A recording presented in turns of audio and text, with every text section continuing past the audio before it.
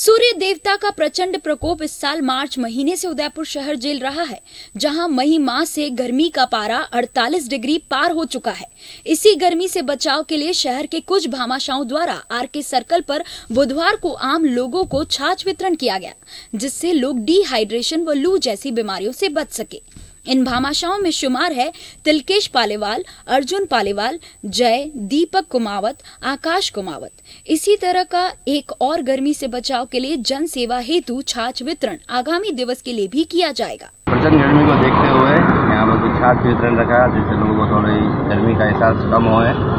और ठंडे का महसूस और हेलमेट के निकलते हैं लगते हैं, उससे भी थोड़ी सी ठंडक मिले